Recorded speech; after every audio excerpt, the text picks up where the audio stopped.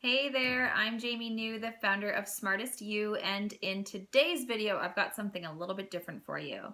I've got 20 of the biggest lessons from 16 of the biggest managers from all around the globe.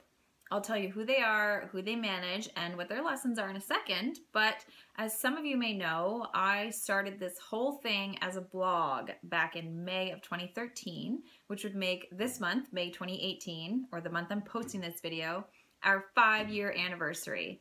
Um, I can't even believe it, but we've been celebrating all month and doing a whole bunch of fun stuff, including uh, deals on our products. We shared a super fun infographic showing the past five years of some successes. We're giving away five free scholarships to our upcoming group mentorship program. We started the process of a rebrand from Smart Band Management over to Smartist University. And of course, we had to do a special five year content piece. For this content piece, which is this right now, I thought you might want to hear some advice from some of the top artist managers in the biz. So I decided to go out and find out the biggest lessons from the biggest managers and collect them all together for you here. Uh, so we have a full article version, which actually contains their quoted responses, which is linked in the description below. But in this video, I've summarized them down into 20 points for you.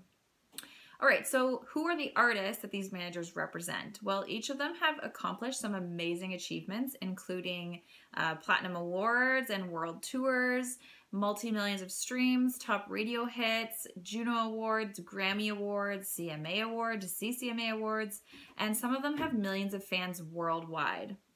These artists include Mumford & Sons, Alessia Cara, Tyler Shaw, Carl Wolf, Kaytranada, The Tragically Hip, Johnny Reid, Jess Moskaluke, Mother Mother, Sam Roberts Band, Blue Rodeo, Dean Brody, City and Colour, and even producers such as Alex da Kid, who has worked with Imagine Dragons, Nicki Minaj, Rihanna, and many others.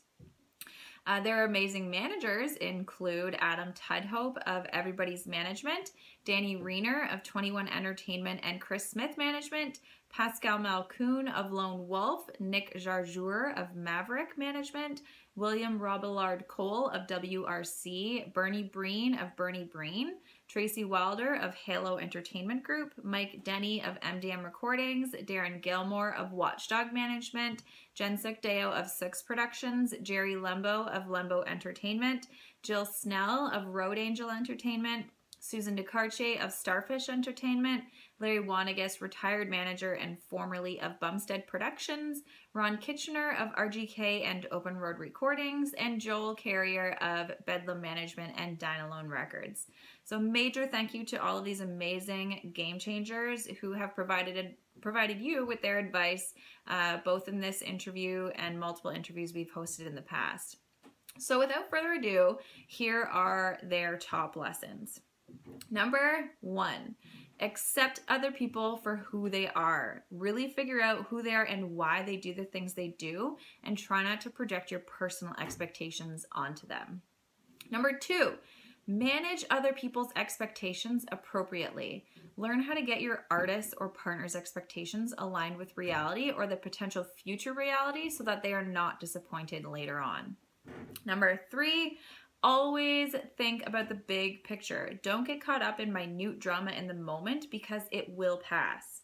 Number four, you must love the artist and their music. It takes some serious love to want to spend 24 hours a day and seven days a week of your time on them and their dreams.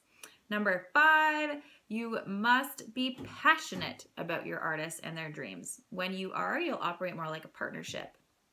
Number six, should I keep doing these hands?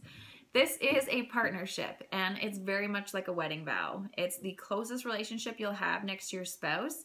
Um, you are a team, so you must have the same belief and trust in each other. Number seven, communication is absolutely key. Be open and honest and get on the same page at all times.